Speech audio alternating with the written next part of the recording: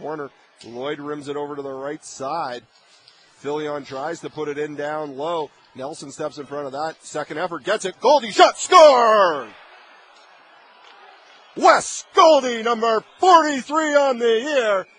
And just like that, bang bang, 2 2.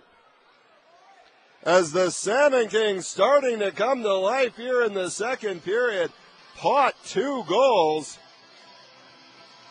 Wes Goldie with a goal and assist on the night now. Daryl Lloyd helping out on that one as well.